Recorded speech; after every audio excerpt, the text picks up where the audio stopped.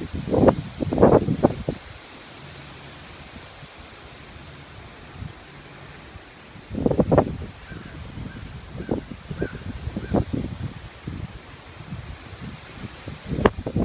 this is pretty rough.